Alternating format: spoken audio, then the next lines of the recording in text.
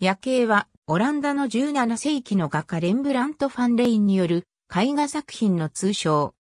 この作品は18世紀以降この通称で呼ばれているが、より適切な題名はフランス・バニングコック隊長とウィレム・ファン・ライテンブルフ、副隊長の市民隊となる。現在はアムステルダムの国立美術館に展示されており、レンブラント及びオランダ黄金時代の絵画の代表作とされている。通称の夜景は長い間、この絵画の内容によくあったものと考えられてきたが、これは絵画の表面が茶色く変色したことによる誤解である。実は、この絵画は昼の情景を描いている。バニングコック家に保管されていた、この絵画のための素描には、横に次のような記述があり、より適切な題名の手がかりになっている。De jonge heer van Purmerlandt als capiteijn geeft last aan zijnen luijtenant, de heer van Vlaerdingen, om sijn compaignie burgers te doen marcheren が副隊長のフラールディンゲン領主に市民隊の行進を命令する。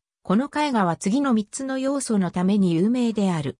まずその巨大さ、次に光と影の効果的な使用、そして当時は不動の姿勢で描かれた軍隊や自警団の集団肖像画に動きの要素を取り入れたことである。夜景はオランダ黄金時代の絶頂期であった1642年に完成した。この絵は題名となった市民隊が出動する瞬間を描いている。黒い服に隊長の印である赤い飾り帯を斜めにかけたフランスバニングコック隊長とその右横の黄色の服を着たウィレム・ファン・ラウテンブルフ副隊長は隊を率いて動き出そうとし、その周辺では銃に火薬を詰める隊員や銃を構える隊員が銃の技量を示し、古手がドラムを構え、後ろでは、騎手のヤン・フィッシェル・コーネリス戦が大旗を掲げている。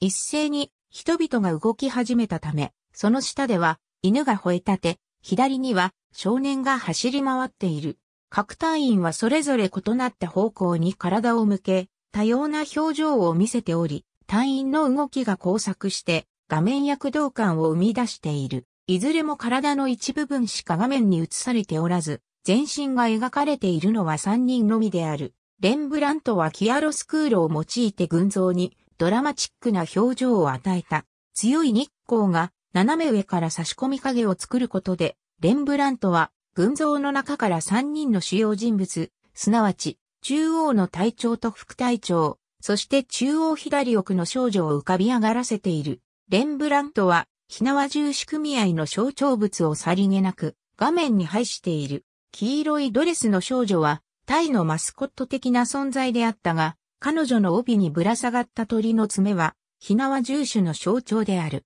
死んだ鳥は打ち倒された敵の象徴でもあり、黄色は勝利の色でもある。鳥の後ろの銃もひなわ渋滞を象徴する。また彼女は自警団の杯を持っている。彼女の前の人物は多くの葉のあしらわれた兜をかぶっているが、これは、ヒナー重種の伝統的な主題である。この絵は描かれてから長い年月が経ち、表面のニスが変色し、黒ずんだため、夜の風景を描いた絵であるという、誤った印象を与えるようになった。20世紀に入り、2度の洗浄作業で、ニスが取り除かれた際、絵は明るみを取り戻し昼を描いた絵であることが明らかになった。四方が切り詰められる前に描かれた模写。白い線の外側が現在失われた部分1715年、それまで掲げられていたひなわ住主組合集会所のホールからダム広場のアムステルダム市役所に移された際、夜景の上下左右が切り詰められてしまった。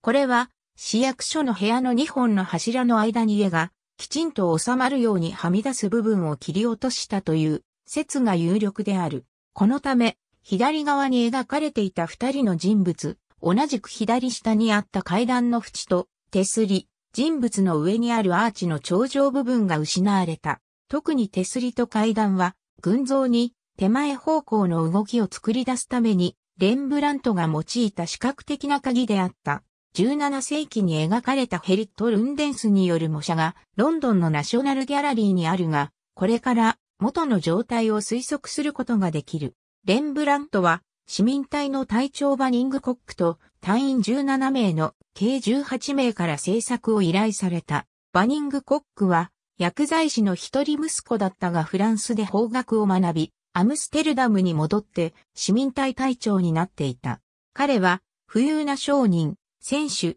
貴族のフォルケルト・オーバランターの娘と結婚し、彼の死後はその遺産や領主の地位を継いでおり、この絵が描かれた後の1650年には、アムステルダム市長にまでなった人物だった。レンブラントに発注した18人の名は、中央右後方の縦に描かれている。その他、古種、少女、少年などが絵の中には描かれたほか、左側には絵が切り詰められる前は、あと二人ほどの傍観者が描かれていた。この時の支払いや受注の記録は全く残っていないが、発注者たちの記録によれば各人が100ギルダー、計1600ギルダーがレンブラントに払われた。これは当時の肖像画の報酬としては大きな額である。この絵はレンブラントを含むが形に市民隊が発注した7枚の集団肖像画のうちの1点であり、新しく建てられたひなわ住主組合集会所の宴会場に掲げるために発注された。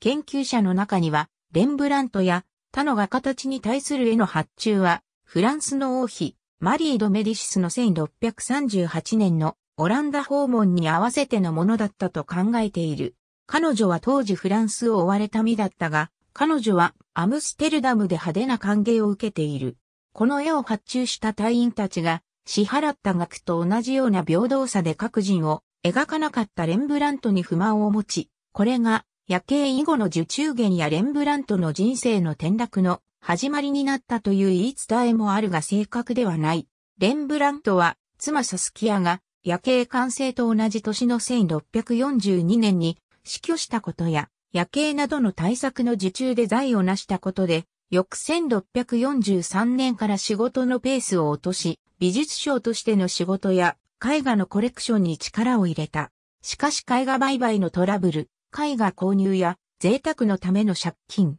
サスキアの死後に召使いと恋愛して、サスキアの実家のオイレンブルフ家と険悪な関係になったこと、などでレンブラントは疲弊し、画家の仕事も画商の仕事もうまくいかなくなってゆく。